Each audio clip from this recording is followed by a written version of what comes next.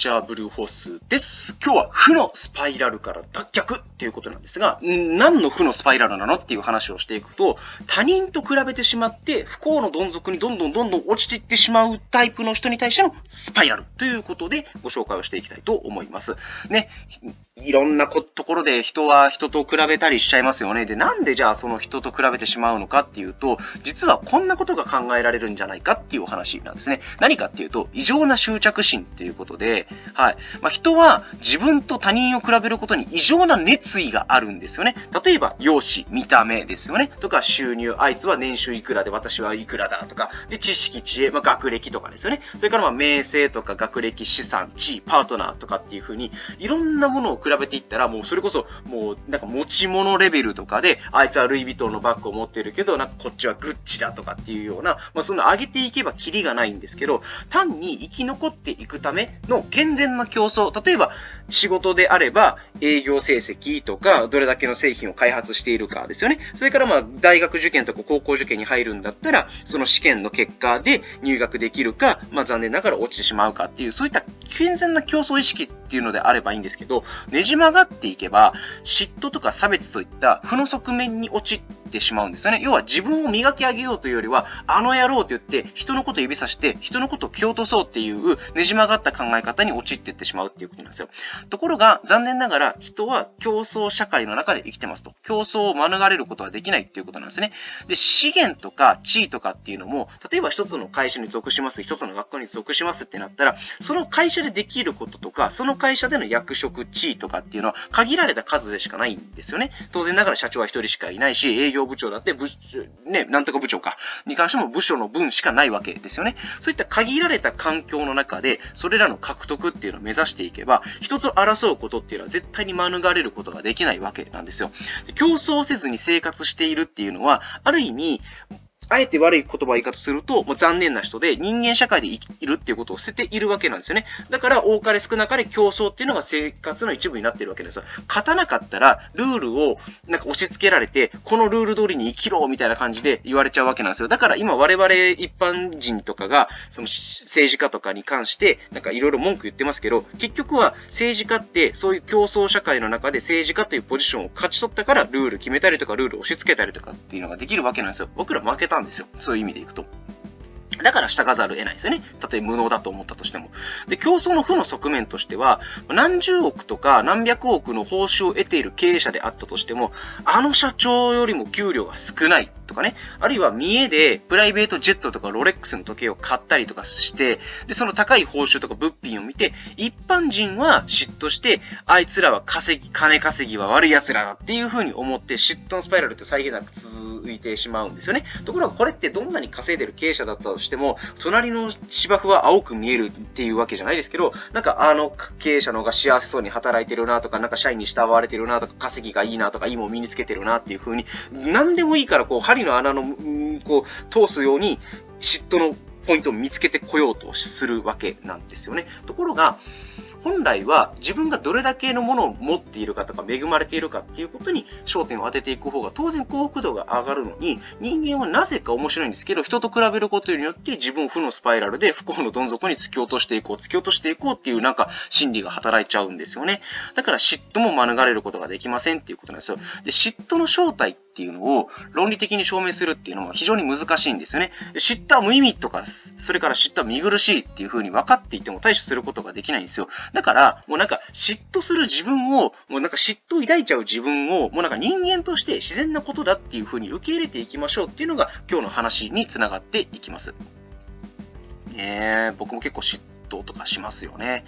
で、厄介な感情との付き合い方っていうことなんですけど、もうこれに関してはフランシス・ベーコンさんっていう方がいまして、まあ、嫉妬っていうのは常に他人との比較においてあり得るというものなんですね。だから比較のないところに嫉妬はないということなんです。だから比較さえしなければ嫉妬は生まれないんですよね。で、比較のないところに嫉妬はないっていうお話なんですが、比較をするためには、自分のある側面を他者と比較するために、さっき言ったようなその容姿とか年収とか学歴とか知恵知識とかっていうことですね。っていうね、比較するために、あえてわざわざなぜか時間をかけて無駄だと分かっていても尺度を作ってる。っていう話なんですよ。うん。ね、例えば収入とか容姿とか学歴とかですね。でその嫉トの苦しみに関しては皆さん理解しているところであるんですけど、その尺度っていうのが、なんか一度、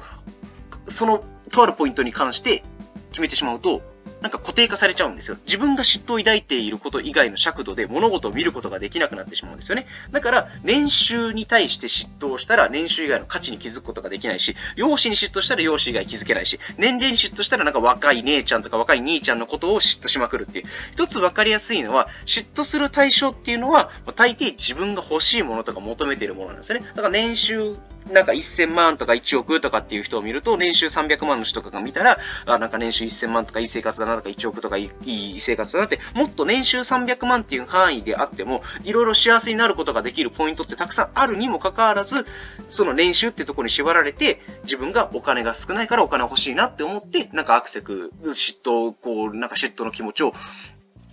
どんどんどんどん燃え上がらせていくっていうような感じになっちゃうということなんですね。で、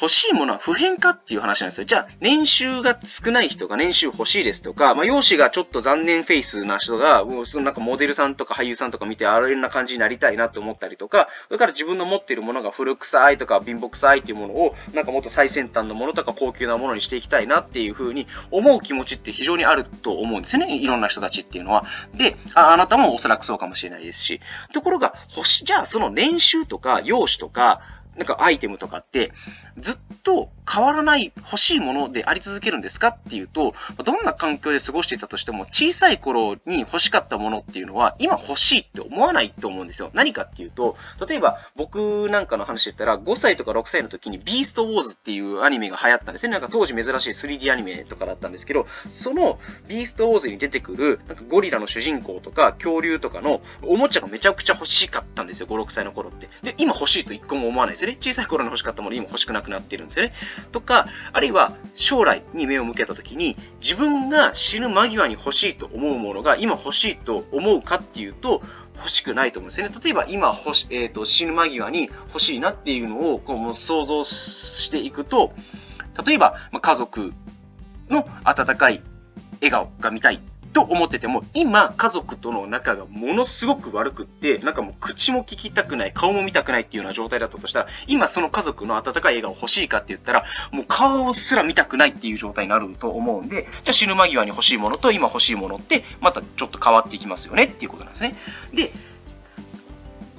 いい話としては、嫉妬っていう感情はコントロールできるんですよ。で嫉妬をなくすことっていうものは難しいんですけど、今あなたが欲しいものとか求めているものを変えることができれば、年収にこだわった嫉妬とか、容姿にこだわった嫉妬とか、学歴にこだわった嫉妬とかっていうのを方向をずらしてコントロールすることができますっていうことなんですよね。じゃあそれってどんな方法なのかっていうのが今日の結論になっているんです。いくんですが、単純に言えば、どうにもならないことは考えないんですよ。例えば、隣の人が持っているもので、じね、なんか、限定品のフィギュアとか、限定の時計とか持ってて、でも限定だから、自分が手に入れることができないものを欲しがっても仕方ないですよね。とか、テレビに出て活躍している人のことを見ても、なんか自分とは住む世界が違うからも全然関係ないよっていうふうに思ってしまったら、自分がそのテレビに出ている、例えば橋本環奈いいなとか、えー、それからもう桜井翔がいいなとかって思うことってないと思うんですよね。えー、それからも広瀬すずいいなって全部ネメシスの人ですけど。で、嫉妬で人生が乱れたり感情が乱れるのであれば、最強の武器として、今日は無関心と行動っていうのを振り回してほしいっていうお話です。で、何かっていうと、テレビを消すとか、隣人と関わらない。まあ、これご近所付き合いに関しては必要かもしれないんで、まあ、それは別なんですけど、とか、まあ、偉人の成功物語を見て、あ、こんな風に私も将来頑張ろうとか、今頑張ろうって容易に浸るのをやめて、あなたがあなた自身の成功物語を語るとか作り始めるっていうことにフォーカスをしていきましょうっていうことなんですよ。そうすれば、もう他人には無関心だし、自分が成功するために行動をとっていくっていうことになるんで、さっき言った無関心行動っていうのを振り回していくということなんですよ。そうすることができれば、嫉妬に悩むこともなくなるどころか、まあ、嫉妬している暇すらなくなると思うんですよね。で、今、あなた自身が関心を向けていることから目を背けて、要は他人と比べていいなとか、ああなりたいなって思うことから一旦目を背けて、あなたがあなたに必要な行動っていうのを取り始めていきましょうと。だから年収アップをしたいなって、なぜなら、なんか友達とか、あるいはテレビとかで見たお金持ちの人たちとかを見て、あんな生活をしてみたいなって思うんだったら、そのお金をかけずに自分が幸せだなとか、なんかお金をかけた以上に自分がこれ、こうやって良かったなって思うような生活が一体何なのかっていう自分ができることにシフトしてやっていくっていうことが大事だっていうお話ですね。だから、そうやって目線をそらしていくことによって、あなたがあなたにとって必要な行動って一体何なのかっていうのを見つけ出して、で、それを実際に取っていくと。他人には関心を向けない、無関心でいきましょう。自分のことに必要なだけの行動をとっていきましょうという、そういうお話でございました。そうやって負のスパイラルからの脱却っていうのを目指していこうっていうのが今日の結論でございます。ということで、本日の動画は以上です。またお会いしましょう。さよなら。で本日も動画を最後までご視聴いただきましてありがとうございました。この動画が面白かったな、役に立ったな、という方はですね、ぜひグッドボタンと、それから下のチャンネル登録ボタンもお願いします。それから皆さんの強みを引き出したりとか、あるいは伸ばしていく、そんなですね、コーチングもやっています。興味のある方、セッションを受けてみたいという方は、コメント欄、もしくは、D、え Twitter の DM からお願いします。それではまた次回の動画でお会いしましょう。お疲れ様でした。さよなら。バイバイ。